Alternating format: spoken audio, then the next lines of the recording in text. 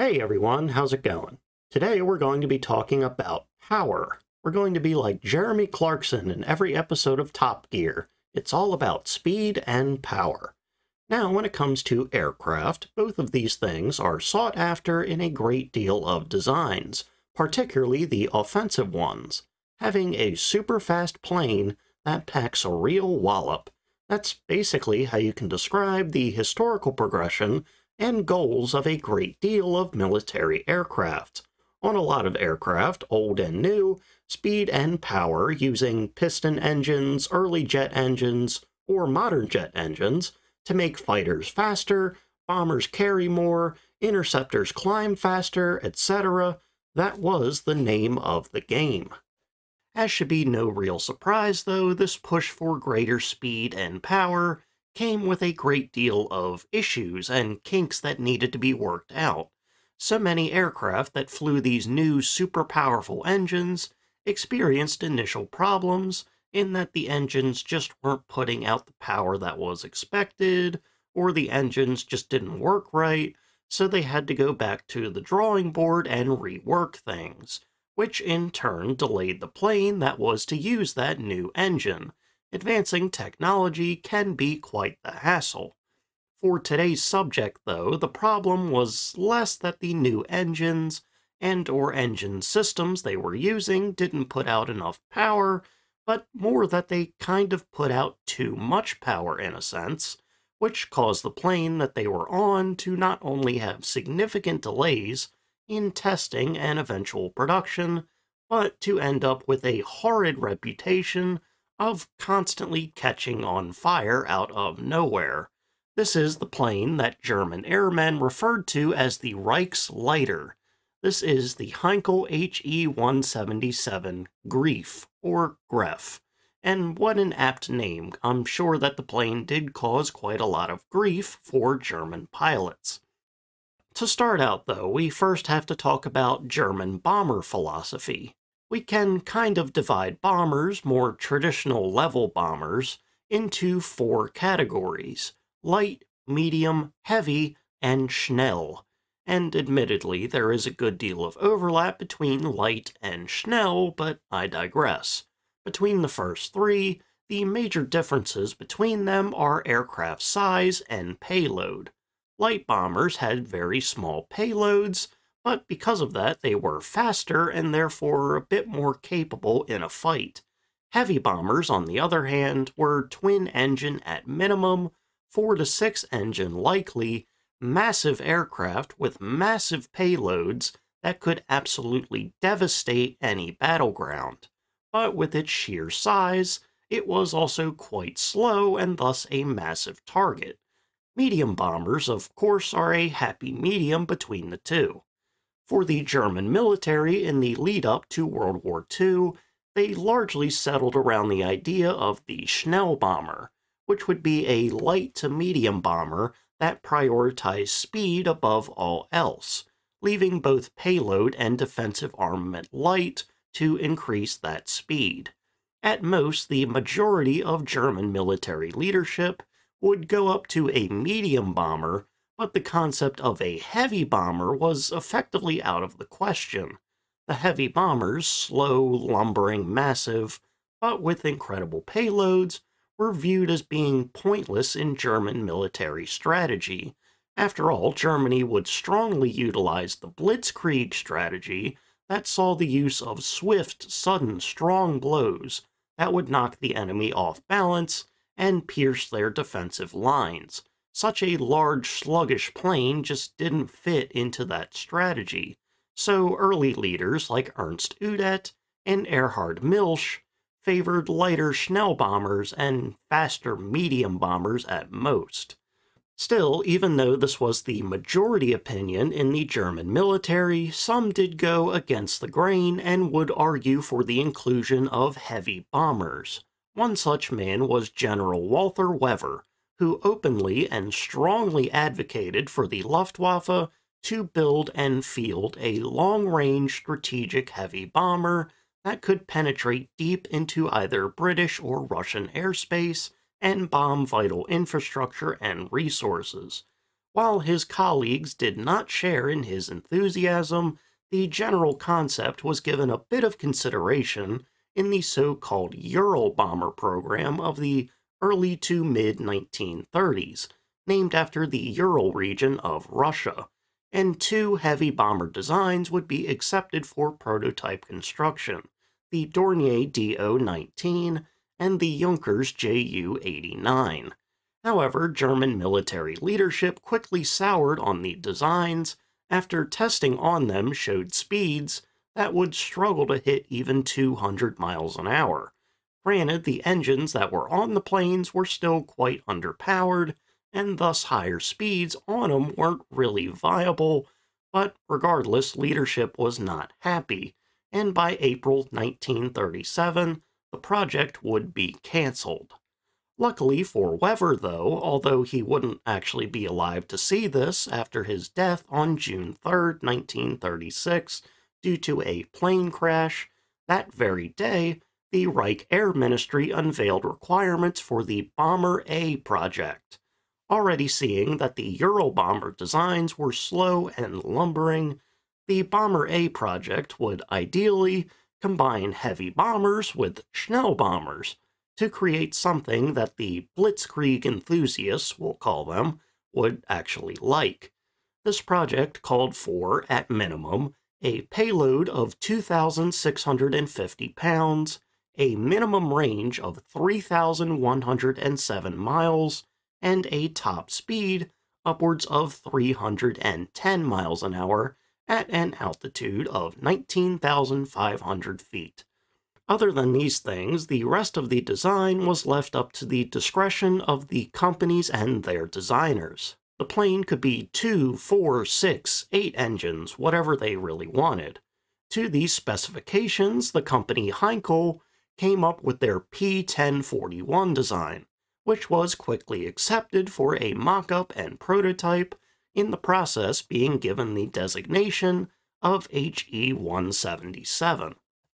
Their design was a little bit different than one would typically assume for a long-range heavy bomber, in that at first glance, the HE-177 only had two engines, one engine nacelle on each wing.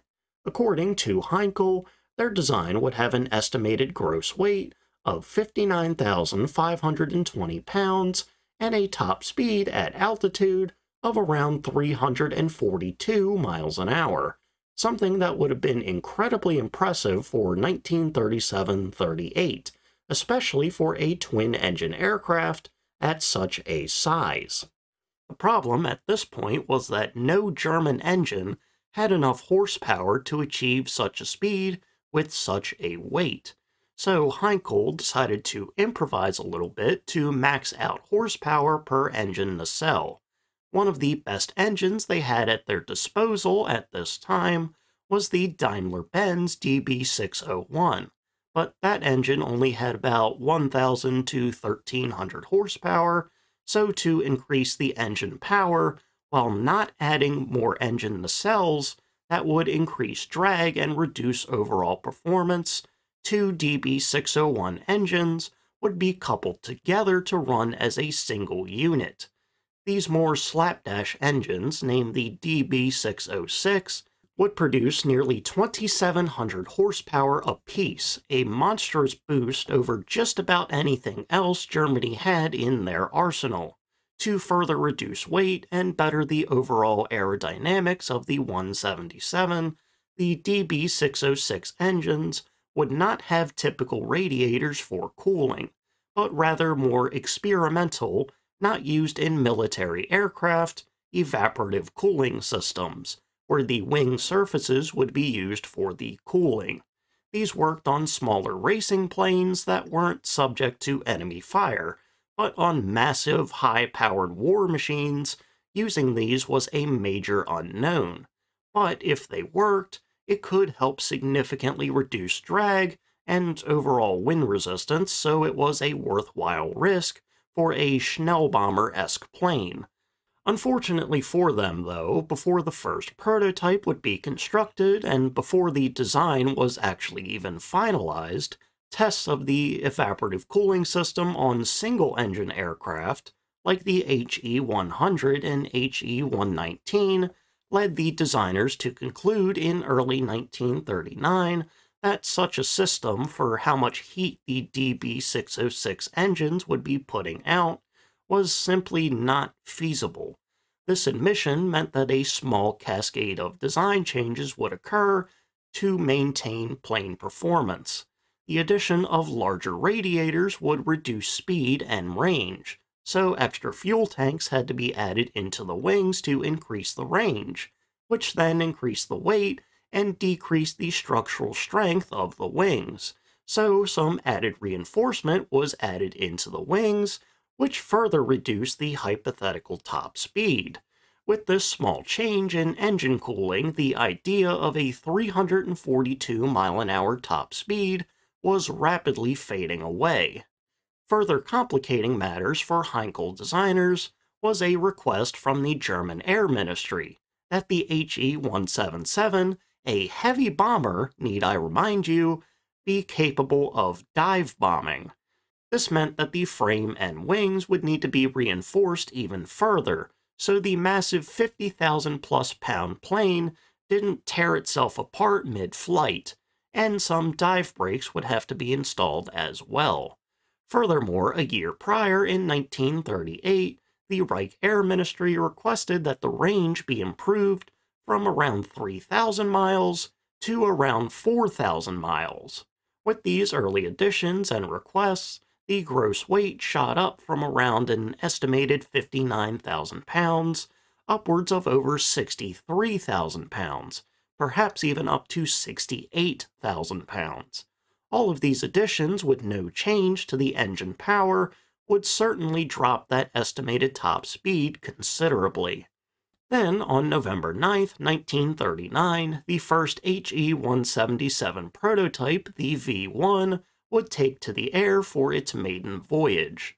The initial prototype, measuring in at 20 and a half meters long, 31.44 meters wide, and 6.67 meters tall, was actually quite a bit lighter than the estimated weight, sitting at just around 52,000 pounds, although its armament, both offensive and defensive, was not fully installed and a lot was missing.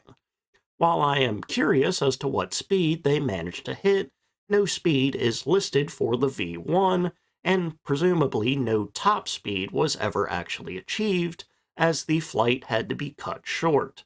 After about 12 or so minutes in the air, the engine started overheating to an alarming level, so the plane had to be landed for safety reasons.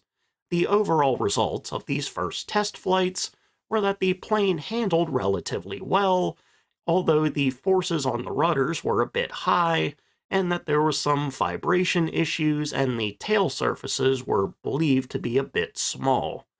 For a while, the relative success of the V1 flight, apart from the overheating and vibrating and all that, that would actually be a high point for the HE-177, as the next several prototypes would suffer major issues that had catastrophic consequences, often deadly ones. I should also note here real quick that some sources mix up which prototypes had which issue, so I'm going to try and parse these out the best I can. Both the V2 and V3 models would take to the air in early 1940 with some minor proposed adjustments. The V2 would largely be the same as the V1, but it was intended to alter the tail surfaces of both it and the V1, making them larger, and the V3 would have an improved gear system for the tail rudders and elevators to help reduce those vibration issues. The V3 would end up being the first one to go to that great runway in the sky.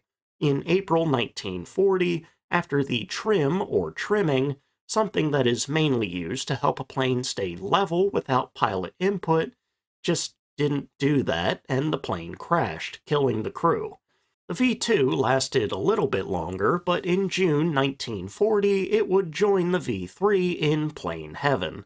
In a dive test for the dive bombing heavy bomber, the plane began to have significant flutter issues, meaning that vibrations would compound and exacerbate each other, and the V2 just ripped itself apart mid-air, killing several crew members. After this, the later prototypes would have the enlarged tail surfaces to try and prevent this from happening again.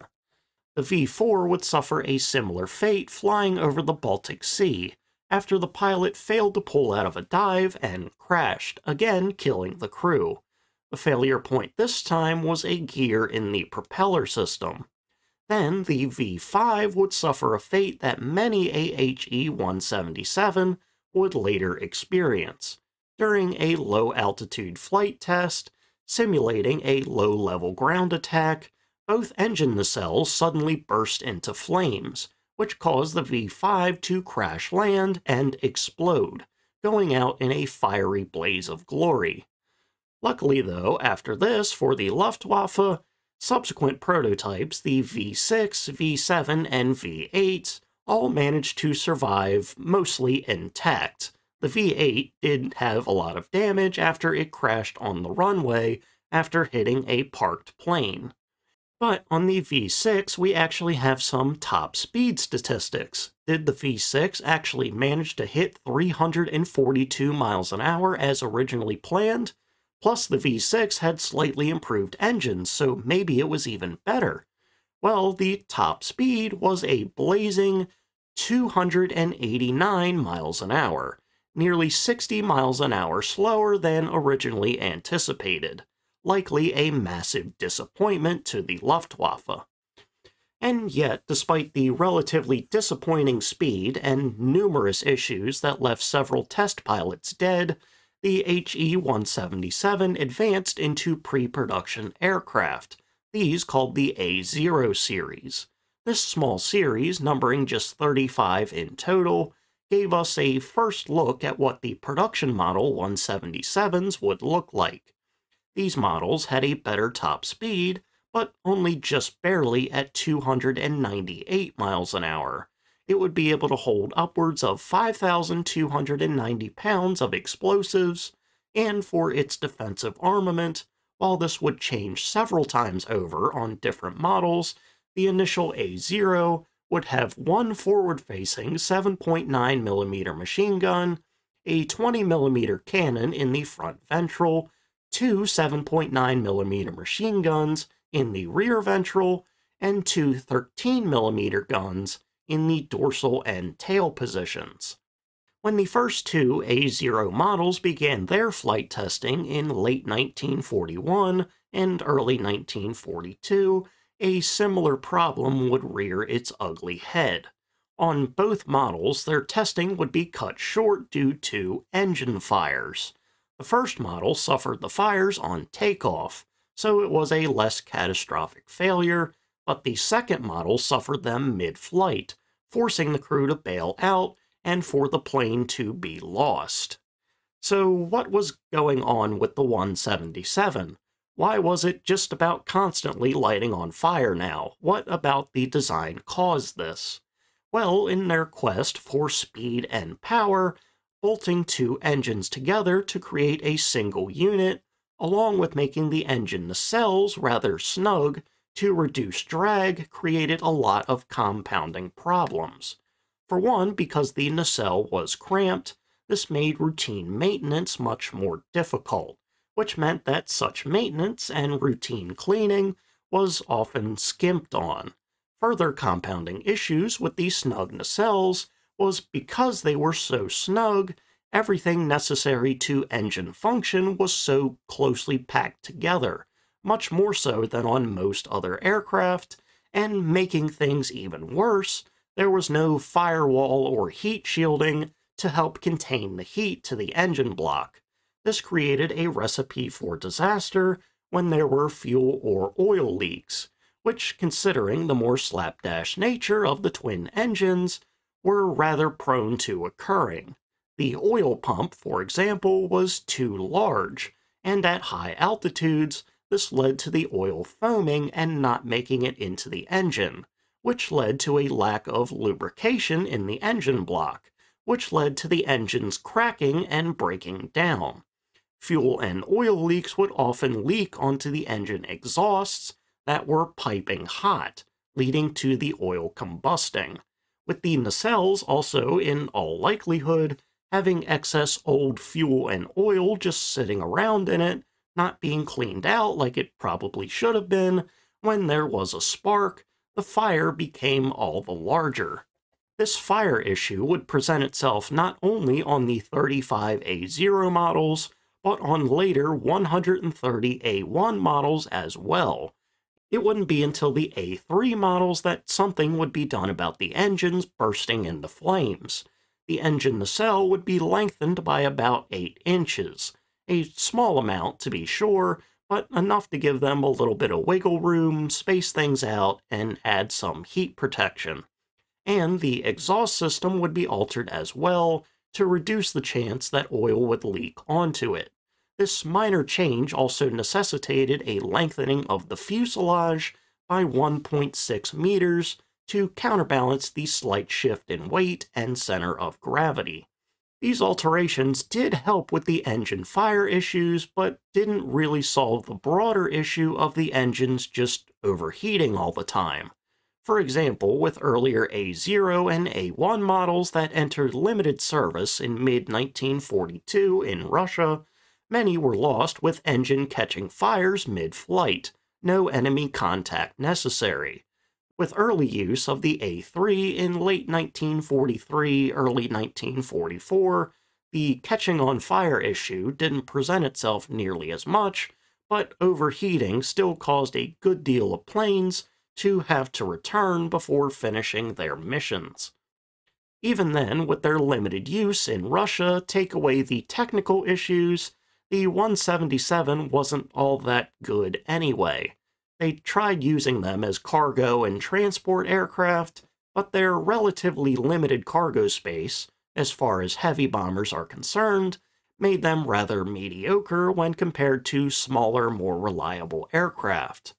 On later A3 models and the next variant, the A5, the DB606 engines would be swapped out for new and improved DB610s, which were effectively two DB605 engines just bolted together. These engines would have around 3100 horsepower apiece, a 400 horsepower boost over the 606. Additionally, with the late A3 models and the A5, an investigation into the constant engine fires in early 1943 led to a conclusion that at least 56 different things could be the cause of the fires, and all of them should be fixed. While they would be mostly remedied on late A3 and the A5 models, a good deal of the older models just wouldn't be fixed, due to it being too time-consuming. So if those planes caught on fire, the pilots just had to deal with it, I guess. It sucks for them. But with the A5 models numbering some 350 strong, the improved engines and reduced problems in those engines, the final performance marks would sit with a top speed of 303 miles an hour at altitude, with a maximum bomb load of 13,200 pounds, a range of 3,700 miles, and a gross weight upwards of 68,000 to 70,000 pounds. Compare that to the original requirements set back in the late 30s the top speed was not reached, but the maxed bomb load was just about quintupled, and it did meet the range, so the 177 also had that going for it. Now, out in the field, the A0s, A1s, A3s, and A5s, if we were to rate their success on a scale of 1 to 10, 1 being the worst, 10 being the best, they would probably get a 2.5, maybe a 3. Its first use as a cargo and transport plane largely failed, as previously stated. Then, in mid to late 1943, a small group of 177s were used for anti-shipping combat in the Atlantic, to take out British shipping and war vessels. Unfortunately for them, at this point, a combination of frequent poor weather Allied defensive measures, and the general faultiness of the design led to little success in that area. Several more 177s burst into flames and were lost, and while they did score a few hits, there was rather little success in the grand scheme of things. In the second bombing run of Britain in Operation Steinbock, the 177s were used there, and surprisingly did have a bit more success than your average German bomber. Flying at over 20,000 feet, with over 6,000 pounds of explosives, the high altitude they flew at made it difficult for British interceptors to target and destroy them. Largely because of this height advantage, along with a tactical strategy of returning to base in a constant shallow dive that increased speed significantly, the 177s over Britain were able to drop their payloads and safely return to base quite often. Now, how much damage they actually did is up for debate, and Operation Steinbock was largely a failure, but the planes were surviving, so they were doing better than before.